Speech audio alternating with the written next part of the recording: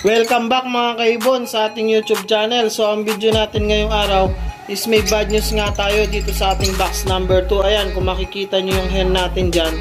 So kung gusto nyo malaman kung ano talagang nangyari, samahan nyo ngayong araw. Tara!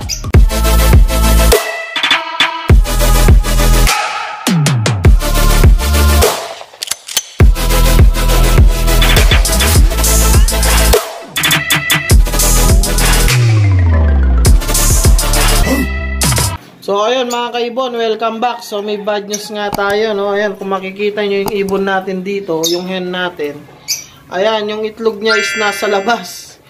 So dumikit yung itlog niya sa may balahibo niya. So tingin ko nabasag yung itlog. So nung linilimliman niya siguro yan is nabasag yung itlog. Kaya nung natuyo, dumikit sa may balahibo niya, no? Ayan, kaya hanggang lumabas yung ibon natin, nakadikit sa kanya yung itlog. So, bali, chinek nga natin yung mga itlog niya. Bali, nakabaon na nga yung mga itlog kanina. So, inano ko lang. And then, meron kasing fertile dito na isa. Ayan, o, oh, yung isa. And then, yung dalawa, wala. Bali, nagulat nga ako kanina kasi nga, hinahanap ko yung pang-apat. Kasi, ang alam ko, yung huling check natin dito is apat yung itlog. So, hinahanap ko yung itlog, wala. Ang inisip ko na lang is nabasag yung itlog. So, binaon na lang nila dito yung balat, no? Iniisip ko ganon. Kasi gano'n naman yung ginagawa ng mga ibon natin or minsan tinatapon nila dito sa may labas.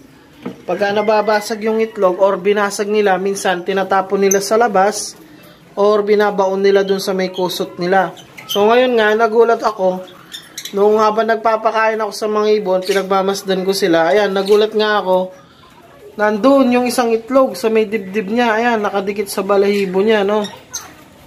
So, comment din kayo sa baba mga kaibon, no, kung na-experience niya rin yung ganto. So, kung anong nangyari sa ibon nyo, no, kung naka-recover pa ba yung mga ibon. Pagkatapos nangyari sa kanila to, no. So, siyempre, pagka nangyari yan, tingin ko, stress yung hen natin dyan, na-stress na siya. So, baka tanggalin na lang natin mamaya yung nakadikit na itlog sa may dibdib niya. So, sigurado na-stress yung hen natin dyan. So, tingin ko, baka hindi na niya limliman yung mga itlog natin dito. Meron pa namang isa kasing itlog dyan. Sayang naman kung tatanggalin natin. So, wala rin siya kasing kasabay dito. So, may kasabay sila dito, yung opa natin. Kaso, syempre, hindi naman natin pwedeng gawing pang sitter yung opa natin kasi may itlog din sila. So, ayan, medyo malapit na rin kasi mapisa yung itlog nito kasi ang hatch date nito is July 25 to 29. So, 23 na nga tayo ngayon. So, bali ilang days na nga lang mapipisa na yung itlog. Kaya nga nangihinayang tayo, baka hindi na niya limliman yung isang itlog natin dyan. Pagka napapisa niya siguro, so ayun, baka pamigay na lang natin yung inakay dyan, no? Kasi nga, pamimigay naman talaga natin sana yung mga inakay dyan, kaso nga, isa lang yung nag-fertile sa apat niyang itlog kasi medyo pagod na yung breeder natin dito. So, kailangan na natin papagpahingayin muna. So, bali yung sinabi ko sa inyo na pamimigay nating hand feed. So, pamimigay pa rin natin yan. So, baka dito na lang tayo mamigay. Do sa box number 4 natin at box number 3. Pagka yan nagsiitlugan, and then nakapagpapisa ulit. So, after 2 weeks ng mga inakay, pamimigay na natin yung mga ibon na yon So, pamimigay natin sila na hand feed. So, bali may konting bad news din nga dito sa ating box number 3 dito. Ayan, yung kak natin dito is nangihina. Hindi ko alam kung anong naging problema ng kak natin. So, obserbahan lang natin siya. Ayan, kung pagmamasdan nyo, matamlay yung ibon natin. So, bigyan ko na lang dextrose powder yung inumin nila dyan. So, hindi ko alam kung anong nangyari. Pagkasilip ko ngayong umaga, nung papakainin ko na sila, ganyan na yung ibon natin, no? Medyo matamlay na siya and then hindi siya masyadong nakakalipad. Hindi hindi talaga siya nakakalipad, hindi siya nakakapasok dun sa box nila at hindi siya nakakatungtong sa perch. Ayan, oh. Ayun, ayun, medyo nakalipad siya ngayon, no. Kanina kasi nung nagpapakain ako, talagang hindi siya maka makalipad, no. So, siguro medyo nakakain na siya ng konti, medyo bumabalik na yung lakas ng ibon natin. So, lagyan na lang natin siya mamaya ng dextrose powder para makarecover yung ibon natin. So, wala naman ako nakikitang magiging problema niya dito sa ibonan natin kasi nga, medyo okay naman yung mga ibon natin.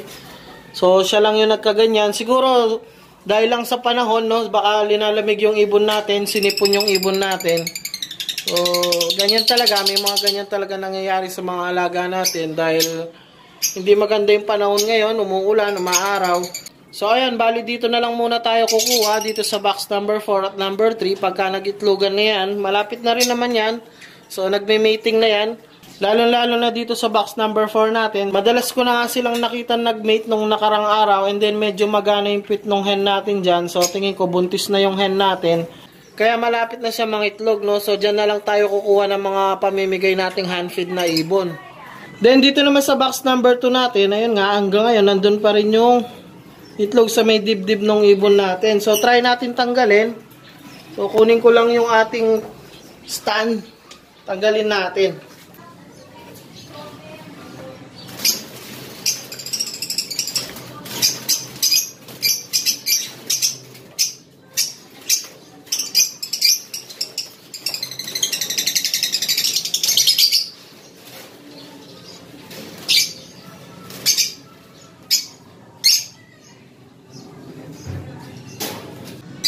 So, ayun mga kaibon, ito na nga yung ibon natin. Ayan, oh, talagang basag yung itlog. So, tanggalin na lang natin.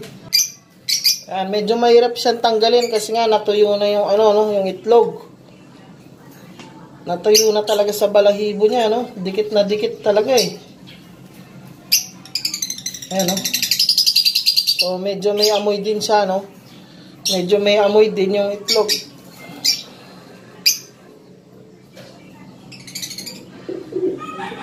Ayan, so natanggal natin. Ayan. Ayan, nakuha na natin, oh. Halos dumikit talaga sa balahibo ng ibon natin. Ayan, oh, yung balahibo niya, oh. So, binunot ko na lang yung balahibo kasi nga ayaw matanggal kasi sobrang tigas. So, sana limliman niya pa rin yung isang itlog natin dyan kasi sayang naman may fertile na isa. So, hindi ko lang sure kung lilimliman pa talaga niya yan kasi gaya nga nang nangyari, sigurado stress na yung ibon natin dyan. So, bantayan lang natin siguro siya 1 to 2 days. Ngayon, hanggang bukas siguro, bantayan natin yung ibon. Kung hindi nalilimliman, tanggalin na natin para medyo makarecover na lang sila agad. Pero kung lilimliman pa niya, so hayaan lang natin. Kasi nga, mayroon pang isang itlog dyan na fertile, sayang naman. So, ayan mga kaibon, yun na lang muna ang video natin ngayong araw. So, kahit nga medyo banyos, wala ganun talaga yung pag-aalaga ng ibon. So, wag nyo kalilimutan mag-like, share, and subscribe. And then, i-click nyo na rin yung notification bell para updated kayo sa mga susunod pa nating videos. So, happy breeding sa inyo mga kaibon and ingat!